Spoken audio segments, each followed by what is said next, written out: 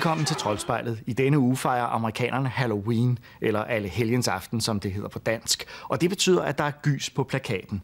Vi har valgt DVD-udgaven af Mumien, og Mumien vender tilbage som årets bedste Halloween-gys.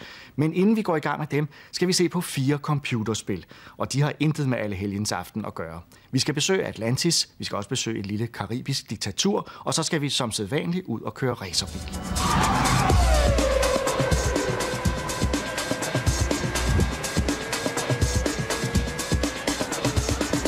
Det nyeste skud på stammen af racerspil er 2001-udgaven af Electronic Arts populære Formel 1-spil, som både er kommet til PC og PlayStation 2. Her er det PC-udgaven, vi ser.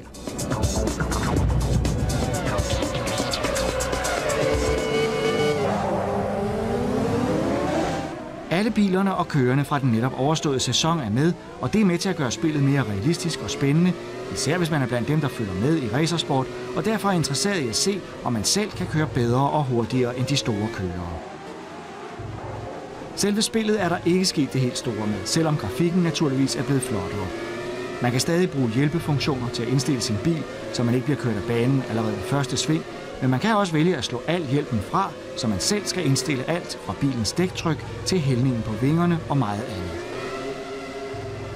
F1 2001 er et udmærket racerspil, men der er nu ikke grund til at købe det, hvis man har sidste års udgave. Dertil er 2001-udgaven for lille en udvidelse, men for dem, der ikke har et Formel 1-spil i forvejen, er dette her et af de allerbedste bud.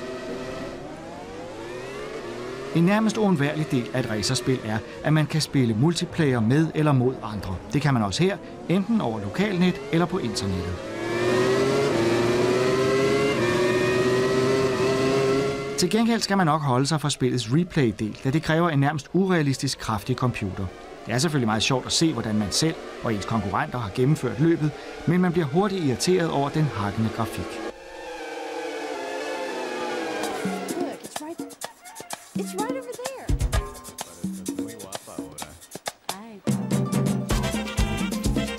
Det er temmelig sjældent, man kommer ud for at se Fidel Castro optræde i et computerspil, men i Tropico optræder den kendte cigarrygende diktator på forsiden, eller også er det en, der ligner ham temmelig meget. Det har sine grunde, for i Tropico skal man selv spille diktator eller el presidente, som ens undersåtter vælger at kalde en. Jo bedre man er til at regere sit ørige, og det betyder i Tropico at undertrykke, jo større er chancen for, at saldoen på ens svejtiske bankkonto vil vokse sig stor og velnæret. Tropico er et forholdsvis traditionelt strategispil af den økonomiske slags ala SimCity. Man starter med et lille bitte samfund, som man skal have til at vokse og tiltrække flere indbyggere og turister, som skal være med til at bidrage til en stadig økonomisk vækst. Det, der gør Tropico specielt og morsomt, er, at man i næsten usmagelig grad kan platte og fuske sig til magten. Enten ved hjælp af korruption eller bestikkelse, eller ved simpelthen at true sig til magten og med sine veltrænede soldaters hjælp skræmme folk fra at gøre oprør. Presidente. Presidente, I believe some of the people may be calling for an election next year. Men det er nu ikke altid lige let, for befolkningen, de utaknemmelige skarn, har det med at blive utilfredse og rotte sig sammen. Derfor går man i en evig fare for at blive udsat for kup.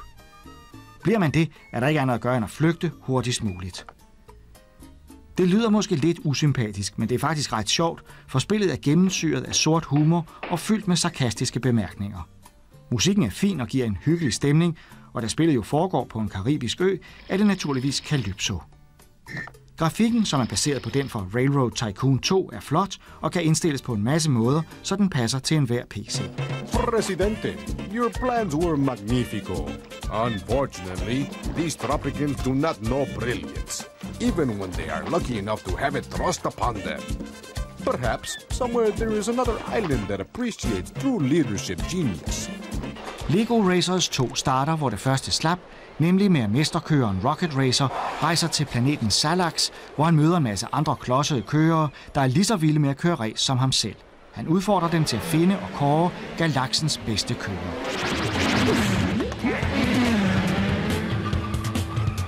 Lego Racers fik med god grund en temmelig hård medfart blandt spilanmelderne, da det kom på markedet for to år siden. Så det ser heldigvis ud til, at man har strammet noget op på gameplayet i toeren, selvom der stadig er meget langt til de fleste andre racerspil.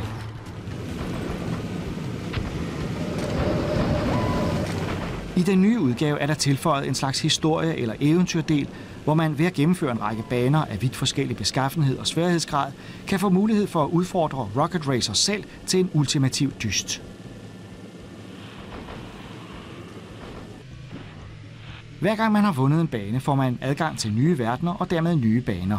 Man kan også finde specielle bonusbaner i de forskellige verdener.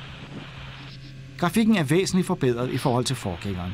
Det er i sig selv flot, men det ændrer altså ikke ved, at Lego Racers 2 er et temmelig kedeligt racerspil. Man kan ganske vist køre to mod hinanden på samme computer, men der er ingen multiplayer-muligheder hverken via lokalnet eller internet. Det er ganske sjovt, at man kan bygge sine egne racerbiler med Lego-klodser, men så er det ærligt talt sjovere at bygge dem med virkelige Lego-klodser i stedet for på computeren. Man kunne godt ønske sig, at Lego brugte kræfter på at udvikle nye og banebrydende idéer, i stedet for at forsøge at kopiere en genre, som er overrendt i forvejen.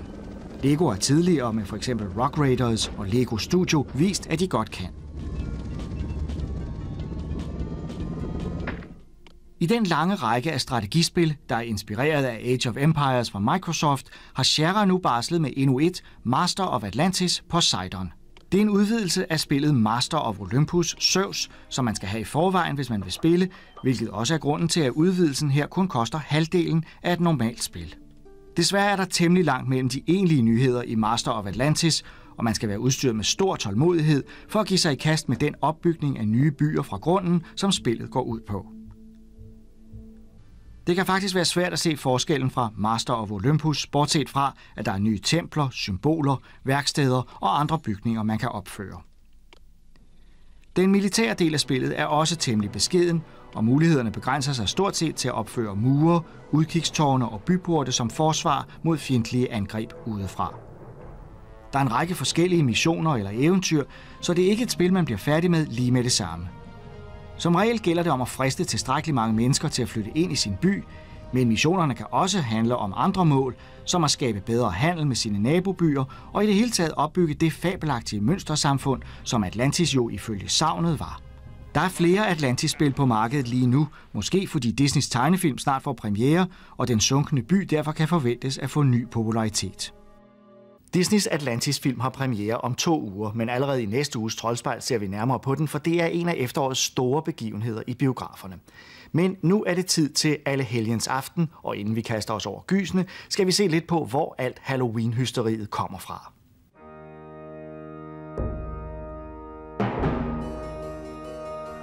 Fra kirkens ældste tider har der været mennesker, der gør noget særligt fortjenstfuldt, måske ovenikøbet mirakuløst, for Guds rige i deres jordiske liv. Disse mennesker blev helgener, der efter deres død kom direkte til Herren i himmeri, hvorfra de kunne hjælpe de troende, der påkaldte dem. Hver af dem fik en særlig dag, hvor de skulle fejres i kirken, men efterhånden var der så mange af dem i den himmelske skare, at man fandt på at lave en dag for dem alle, så derfor indførtes alle helgeners dag den 1. november. Men den dag faldt sammen med det gamle keltiske nytår, Samhain, om aftenen til det nye år er den tid, hvor hvileløse ånder og trolde og andre utysker fra underverdenen slår sig løs og hjemsøger menneskeverdenen.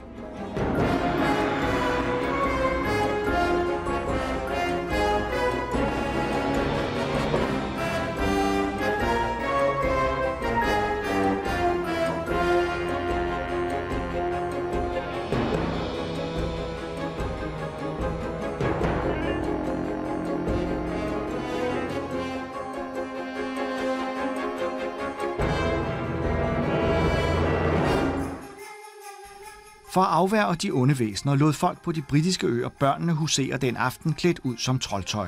Det kan man læse om i Claus Døllerangs Danmarks historie i tegneserieform, hvor man også får at vide, at danskerne i gamle dage plejede at lave den slags ved juletid, før det blev flyttet til faste lav. De mange skotter og valisere og især irere, der udvandrede til Amerika, tog skikken med derover. Den roemand, som de havde i hjemlandet, blev lavet om til en græskarmand, for alting skal være større i Amerika.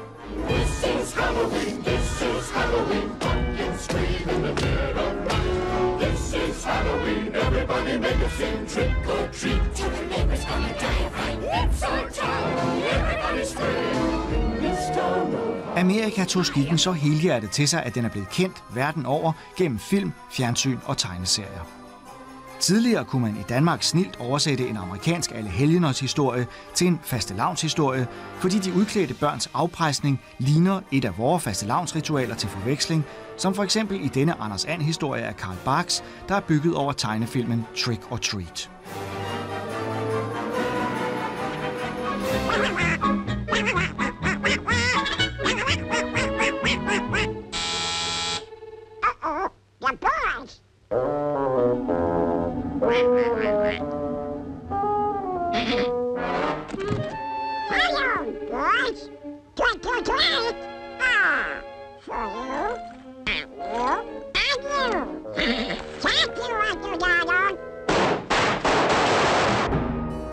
Og så kunne den almindelige dyrkelse af uhygge også inspirere til gysere, som denne klassiske EC-tegneserie.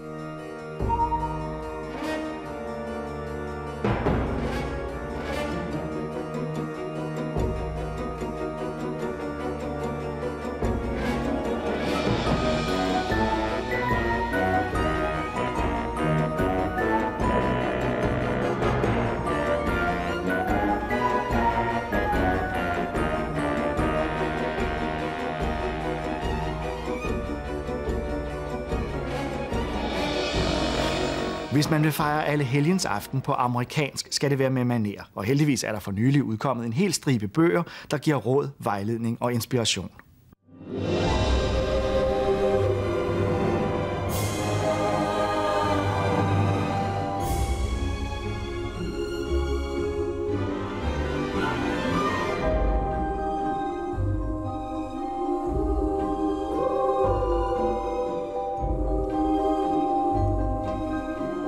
Gys Gru og Græskarspøgelser finder man de korteste, men bedste historier om selve festen i dens klassiske udgave.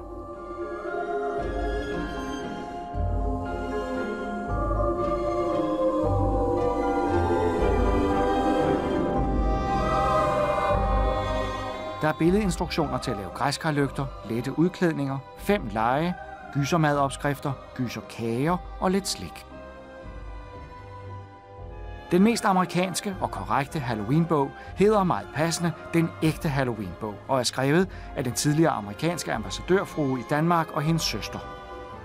Bogen har de originale amerikanske lege og dekorationer med, både til indendørs og udendørs. Der er gode udklædninger og opskrifter på det originale amerikanske slik med popcorn og æbler, donuts, kager, mad osv. Den ægte Halloween-bog har det bedste indhold, der er mest læsestof, men historien bag Halloween er ikke særlig godt fortalt.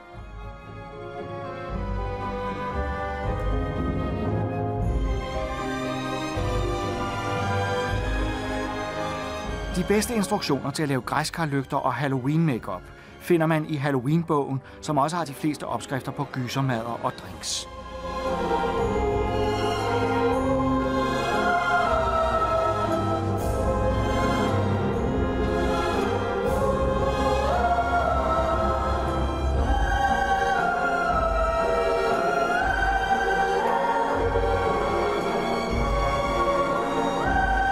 Også lege og masser af ting i papir og karton.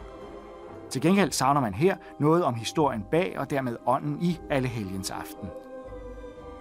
Det kan man til gengæld finde i bogen Halloween, der udkom sidste år, men desværre er udredningen lidt lang og kedelig. Der er flest papirting i den bog, men også græskarlygter, den helt rigtige græskarkage og netadresser om Halloween. Halloween-bøgerne findes på Troldspejlets hjemmeside. Det bliver ikke alle helgens aften uden et godt gys, og som regel har videomarkedet et bud på en film, man kan skræmme livet af sig selv med. Et af de bedste tilbud i den retning i år er DVD-særudgaven af de to nye mumiefilm. For selvom mumier teknisk set jo bare er afdøde Ægyptere i balsameret form, så er de ideelle som filmmonstre.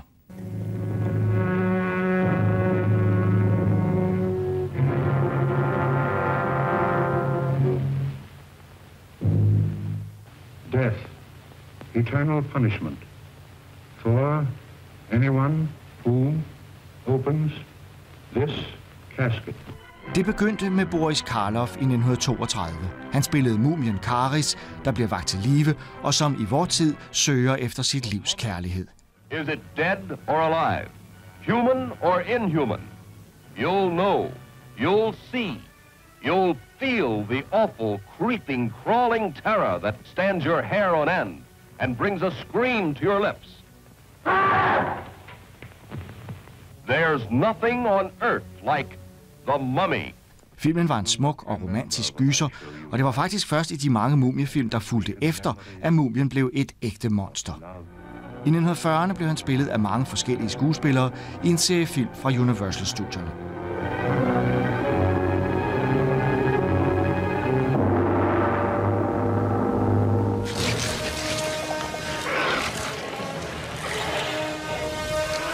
1999 kom så den nye version, som blandede stemningen fra Indiana Jones-filmene ind i mumieuniverset.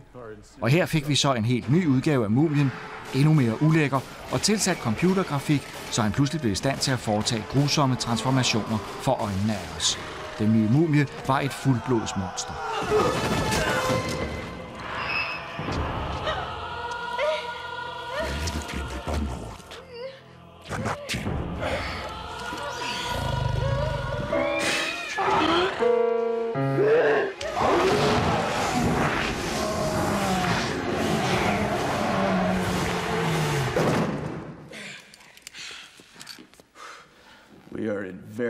Serious trouble.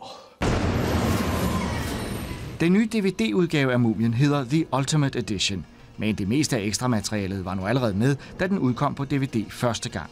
Så hvis man har den udgave, kan man sagtens undvære den nye.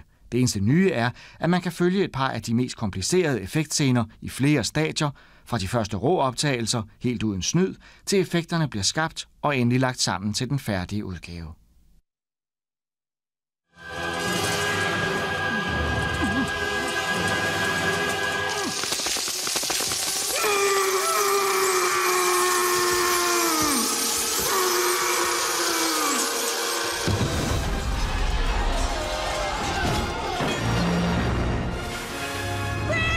I sommer kom så Mumien vender tilbage, en fortsættelse, der ikke havde meget nyt at byde på, men som alligevel blev så pæn en succes i biograferne, at en træer, The Scorpion King, er på vej.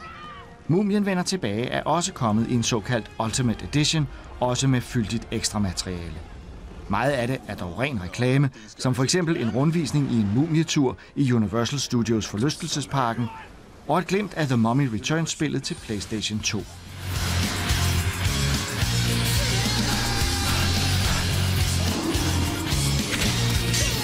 Igen er det den grundige beskrivelse af effekterne, der fungerer bedst, og igen får vi lov at følge flere scener fra de første optagelser med skuespillerne, til pålægningen af animation, som her foregår med motion capture-teknikken, hvor det er skuespilleren Arnold Voslos bevægelser, der scannes ind i computeren og omdannes til animation. Så bearbejdes animationen, og til sidst er mumien komplet og kan lægges ind i scenen, så det virker overbevisende. Noget af det sjoveste i Mumien vender tilbage var de små dværgmumier, og dem kan man også følge tilblivelsen af.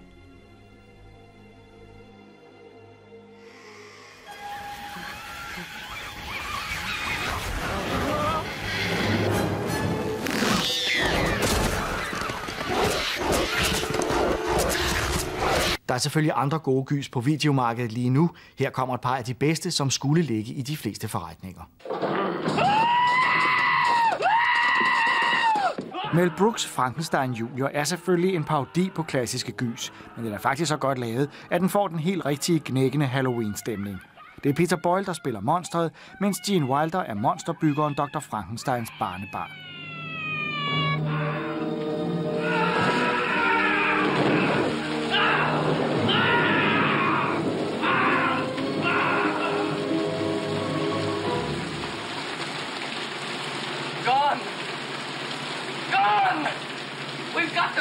You understand? We've got to find him before he kills someone! What have I done? Oh, God in heaven! What have I done?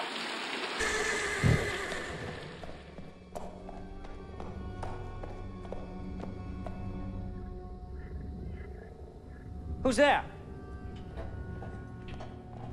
Et ægte og meget uhyggeligt Halloween-egnet gys er Tim Burtons Sleepy Hollow, hvor hovederne ruller, når den hovedløse spøgelsesrytter herrer den lille landsby i det 18. århundrede.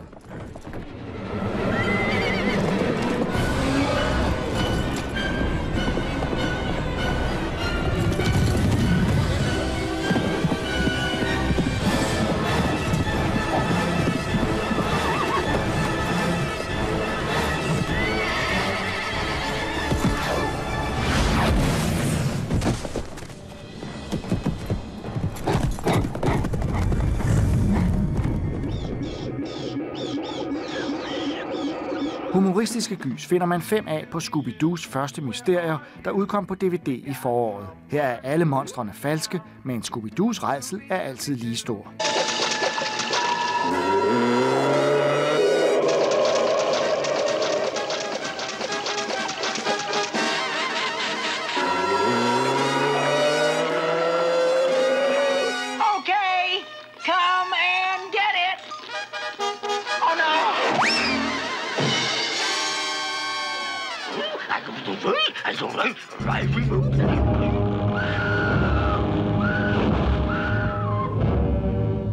Klassisk gys er King Kong, som stadig holder. Det blev oprindeligt forbudt af censuren i mange lande, men det var altså i 1933. I dag kan den ses af de fleste, for selvom der skriges en del, er den først og fremmest et godt eventyr.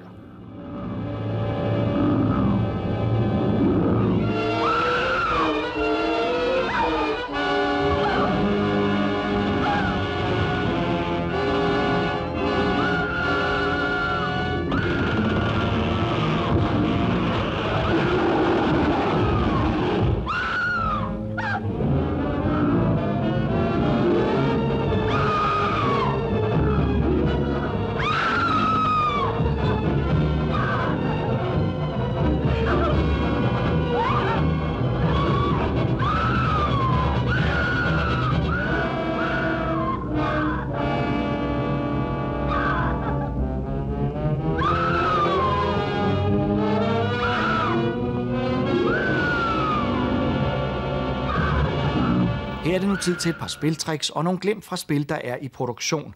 Og et af dem, der er mest forventninger til, er den nye udgave af Crash Bandicoot. En gammel kending for PlayStation-spillere er Crash Bandicoot. Her skal vi se nogle glimt fra et kommende spil til PlayStation 2 med denne noget maniske helt. Get ready to face my wrath, Crash Bandicoot! I spillet The Wrath of Cortex vender Crashes gamle ærkefjende Cortex tilbage. Han har opfundet en ond klon af Bandicoot kaldet Crunch, som han bruger på lumskelig vis. Men den onde klon fungerer kun ved hjælp af særlige maskeringer, og hvis Crash finder dem først, vil det for altid spolere Cortex planer. Gameplayet har stort set ikke ændret sig siden den første udgave. Crash kan stadig bevæge sig meget adræt og hurtigt, og denne gang kan han også flyve, blandt andet ved hjælp af en glider, som er praktisk, når han skal samle point og andre godter. Crashes søster, Coco, er også med i spillet, sammen med sin smarte miniskuter.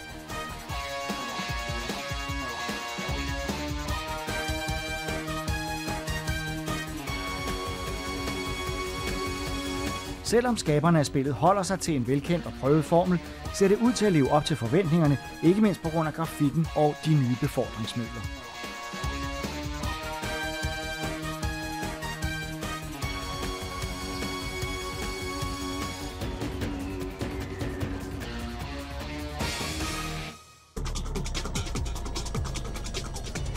Så skal vi have et tip til, hvordan man kan komme hurtigere over målstregen i det nye fremtidsracerspil Extreme G3 til PlayStation 2.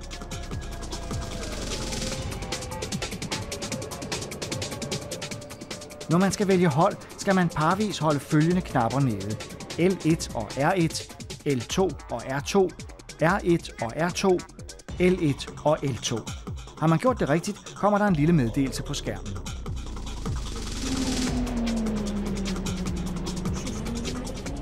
Nu har man fået udtømmelige reserver af skjold og turbo, hvilket vil sige, at man ikke bliver sinket af uheld og nemt kan udkonkurrere selv de mest ihærdige og dygtige modstandere.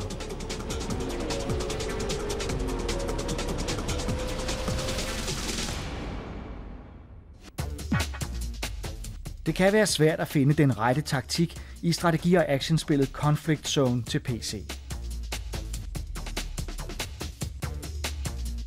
Men her kommer et tip, som kunne være en hjælp.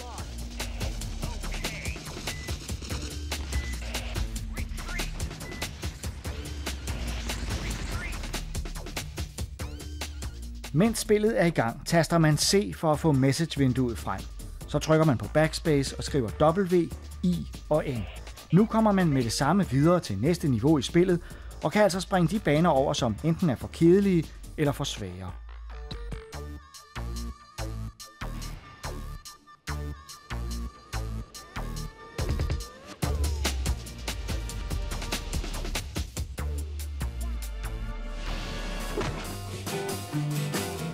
Sædvanligvis koncentrerer vi os jo om spilnyheder, men er man interesseret i, hvordan teknologien så ud for bare 10 år siden, er der flere gode hjemmesider, hvor man kan gense mange gamle klassikere. Internetadresserne her findes i NetCheck på Troldspejlets hjemmeside. Man kan for eksempel besøge Museet for afdøde computere, hvor man finder computere som Spectrum og Acorn, som dengang virkede meget imponerende, og Commodore 64, som med sin computerkraft var lidt af en revolution i 1980'erne. Det er også muligt at undersøge computernes processorer nærmere, hvis man skulle have lyst til det. Eller man kan prøve at spille et af de helt klassiske computerspil. Spillene kan også hentes ned fra denne hjemmeside, hvor man desuden kan finde information om noget af det nyeste højteknologiske udstyr og tilbehør.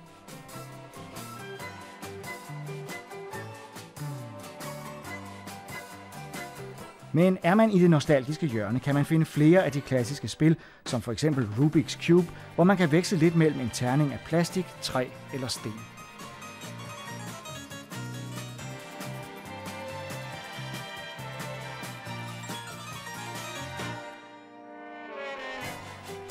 Der er flere spil på denne hjemmeside, som for eksempel Pokmonster og Bank Raid.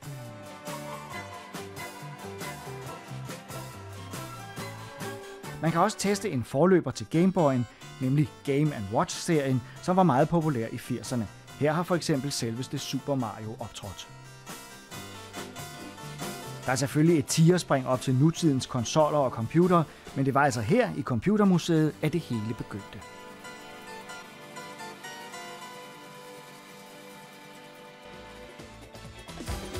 Den nylig afholdte ECTS-messe i London er spilbranchens årlige præsentation af nye spil, og en af de kommende nyheder er Robot Wars. Det bygger selvfølgelig på det populære upædagogiske tv-show, og der er planlagt Robot Wars træf verden rundt i kølvandet på spillet.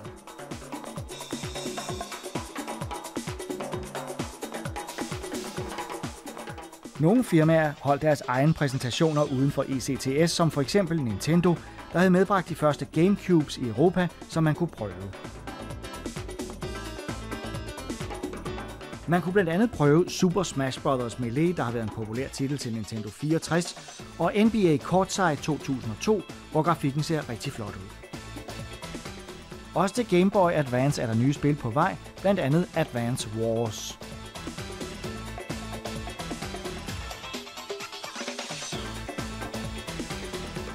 Og så var der en nyhed vedrørende den nye Card E-reader til Game Boy Advance. I nær fremtid kan man købe sig samlekort, der kan indlæses i Game Boy Advance, så man får flere detaljer og muligheder til allerede eksisterende spil. De nyheder, man får på spilmesserne, skal indimellem tages med et græns salt. Dels af de ting, der omtales som epokegørende, ikke nødvendigvis så fantastiske, som de lyder. Og dels har spilfirmaerne indimellem problemer med at holde deres tidsplaner, så selvom vi omtaler et spil som kommende, kan der godt gå et stykke tid, før det rent faktisk dukker op. PlayStation 2-udgaven af Crash Bandicoot har vi nu har fingrene i, så det kommer der en test af snart.